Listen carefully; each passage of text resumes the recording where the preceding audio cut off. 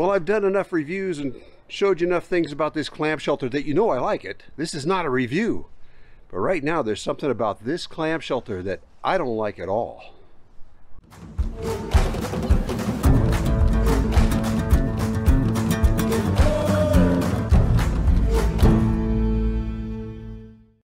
When we were camped down just north of Quartzsite, Arizona, this past month, we just got home a few days ago, but it rained like heck for a period of about three days. And this clam shelter had a bunch of water flowing through it. The thing about that water was, and that mud, is it made this clam shelter stink, the bottom of it. I mean, think about it. We're in a campsite, uh, not, not a campsite, we were camped in the desert, but an area where a lot of people camped and we knew that there was a storm coming, coming so we camped in the shelter of some trees, thick trees and bushes. Well, it turns out it's probably a very popular place for people to camp because that mud made the bottom of this tent smell like smell like stale urine. I kid you not. I didn't even want to handle this thing just now to put it up. It stinks. So today I'm going to clean it. we'll see how that goes.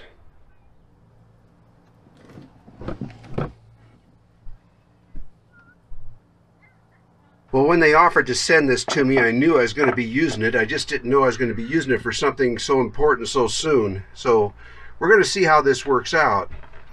Uh, this is a Sunglife cordless pressure washer. It runs on a 20 volt battery.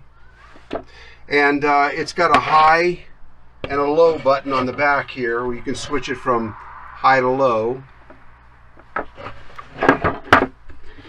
And this is not the kind of pressure washer you would use to do the siding of your house or your driveway or anything like that. This is for small jobs and it puts out about 340 psi.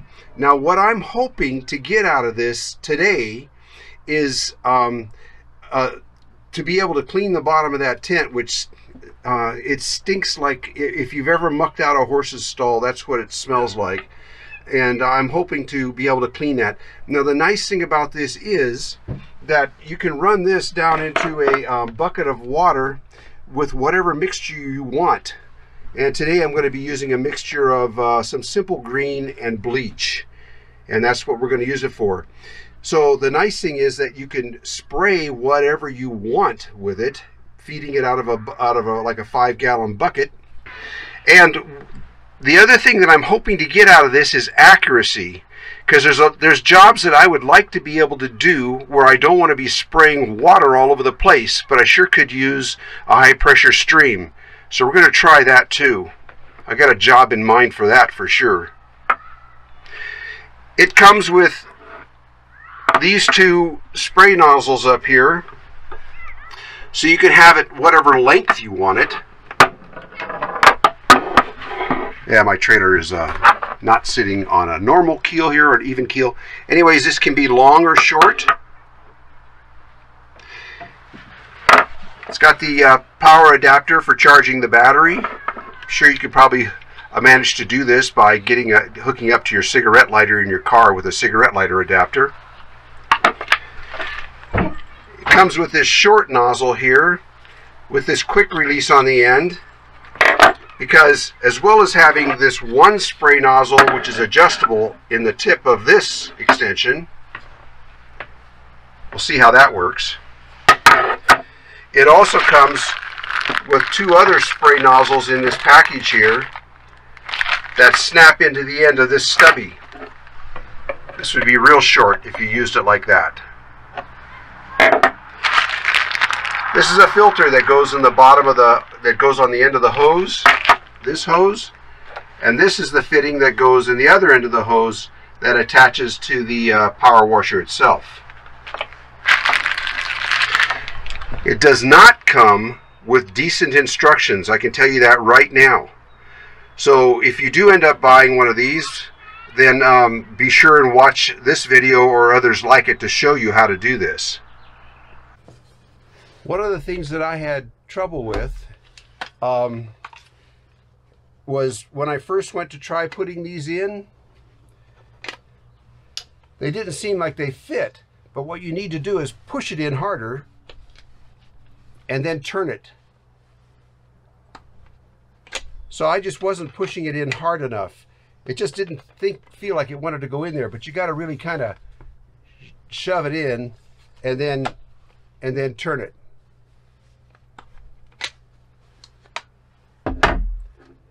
Here's the stubby one that may show this better. Shove it in and then turn it. Quarter turn, and that locks it in. Because you got to get past an O-ring here, and the first time you do it when it's brand new, it was a little it was a little tough.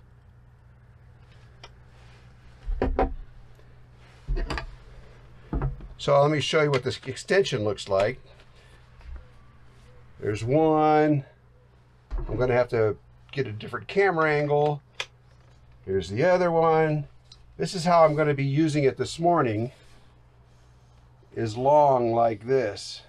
Don't have enough room here. I'll show you this outside. This is for reaching. Or there's this stubby one which has different uh, nozzles that go on it. The nozzles, one is like a point, you know, like a directed pencil width kind of a spray, and the other one's got like a 20 degree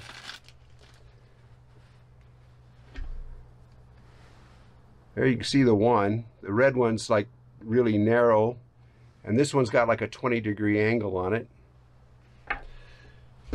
So these go into the end like this. You just pull this pull this back like that and then it just goes right in like that. And you can rotate it around to where you want it. That would be really handy for getting in close tight spots. So we'll see how that one works. And once again, that's how it comes out. It's a 20 volt lithium battery. I'm anxious to try this out. I'm gonna get busy. First thing I want to do is get this hose ready. Now it's kind of cold today, so I'm not sure how well this is to work. Yeah, pushing this in is going to be hard, pushing that nozzle into the end of this hose. I'm going to use a little flame here just to warm this up. An easier way for you to do this at home would be to stick it in some hot water.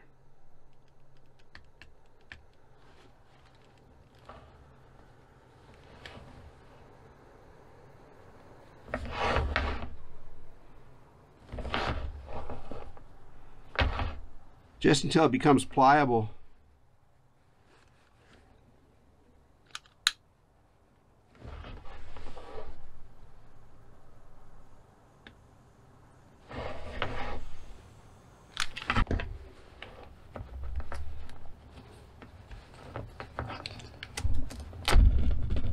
when you do that, that makes that easy to push in.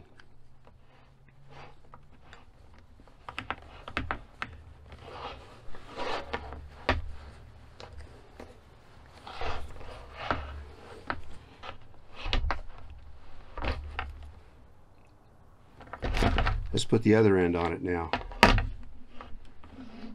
This is the filter that goes on the bottom. So yes, there is some assembly required. Don't know what I came back to the Montana cold for. Could be down in the desert still where it's nice and warm. Oh yeah, I remember I got granddaughters, four of them. when I'm gone, I miss them like crazy. All right, let's put this on now. Okay, that'll do it. This is for a bigger hose up here. All right, so this part is ready to go. Now this simply fits on the bottom of the gun down here. What you do is you pull this back with your fingers like that, slide, slide this part back, and then slide it up. And once again, there's an O-ring on there. And now that's connected and it goes in, this goes into a bucket of whatever your solution is that you're spraying. This hose is about 20 feet long. A little stiff in the cold right now, that's for sure.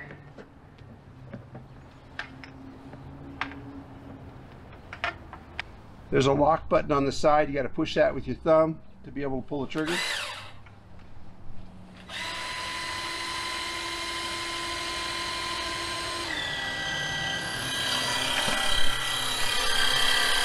Okay, pushing the button on the back is high and low while we wait for the liquid to get up here. Right now it's on low, and there's high. The low pressure is just for wetting things down.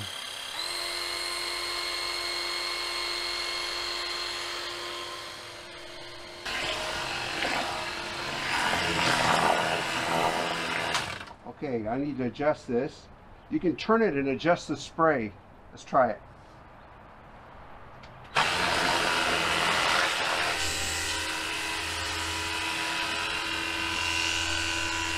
So the spray can be really wide, really wide, or go down to a, to a real thin spray like that.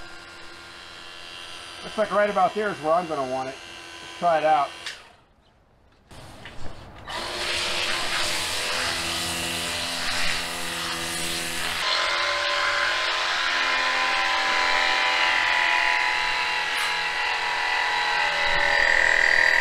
The whole thing is really dirty because of when we had to take it down during that rainstorm in Havasu.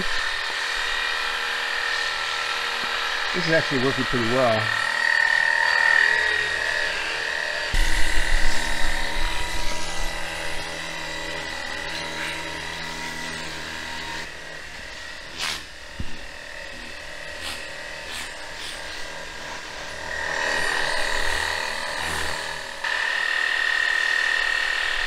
Think it's too bad. I think I think it's pretty good. My only other choices here would be down on my hands and knees with a a brush and a bucket.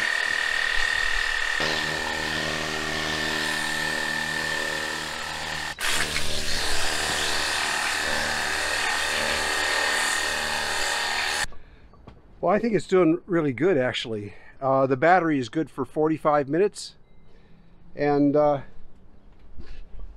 I've almost used the bucket, the whole five gallon bucket. It was about seven eighths full. And I still got about an eighth of a bucket left. So I think it's done pretty darn good. I'm just going to get a hose now and I'm just going to rinse off this soapy water and call it good. Then I've got another job planned for this. When I was offered this, this power washer, Linda and I were camped down in the desert and uh, I thought of two things immediately. You know how I am about my engine, keeping my engine clean. Well, the first thing I thought about was doing touch-ups on my engine, which it needs now because it's all dusty. Now, I don't think this would do a serious job of cleaning heavy grease, but if you get your engine fairly clean, I think it'll really help to keep it clean, and I'm going to use it on that today. But there, well, the main thing I thought about was this. Let me show you. I thought about these jambs around the door and how filthy they get.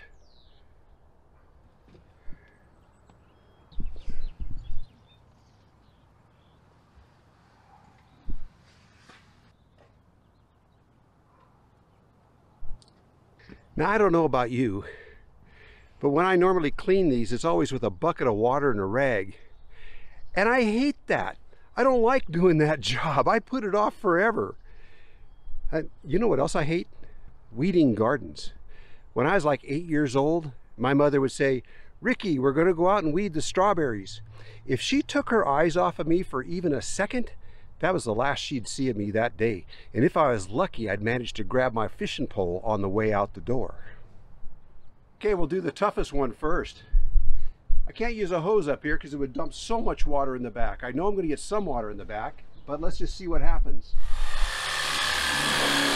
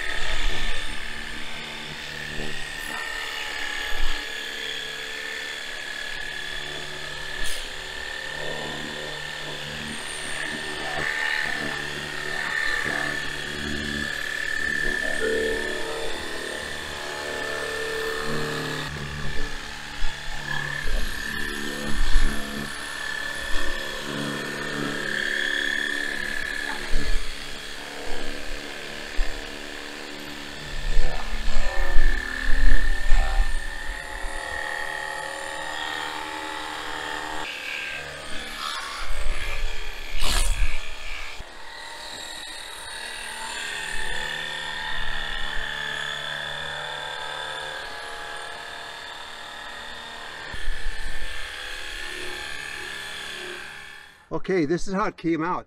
This is this is without wiping it down with any sort of a rag or anything. If I wiped it down with a with a just a cloth, a dry rag, it would get all that that last scumminess off. Yeah, I think it worked pretty good. I still have the other doors to do.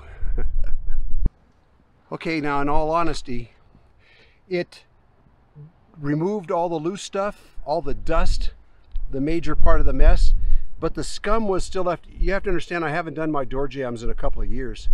So, remember I told you I hate doing it. Anyways, uh, so it left that scum on there, that same scum that you get at a car wash that just doesn't come off and needs to come off by hand. But all I needed to do was just take a dry uh, flannel cloth and just wipe down the door jambs. Linda and I just did that and they actually came out pretty nice. So I'm pretty happy with it. I didn't have to do any buckets of dripping water down my elbows or nothing like that. And it came out real clean. It's nice.